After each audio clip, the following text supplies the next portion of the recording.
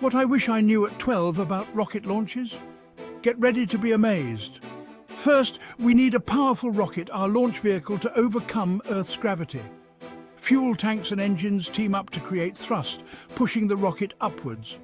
Most rockets have multiple stages that detach as they run out of fuel. Next, pre-launch prep is key. Engineers test every part, pick the perfect launch window and check the weather. When the countdown hits zero, liftoff begins. During ascent, the rocket tilts in a gravity turn to reach the right orbit.